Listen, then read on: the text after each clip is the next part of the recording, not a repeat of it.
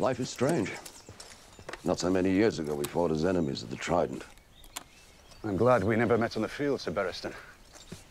As is my wife. I don't think the widow's life would suit her. You're too modest. I've seen you cut down a dozen great knights. My father once told me you were the best he'd ever seen. Never knew the man to be wrong about matters of combat. He was a fine man, your father. What the Mad King did to him was a terrible crime.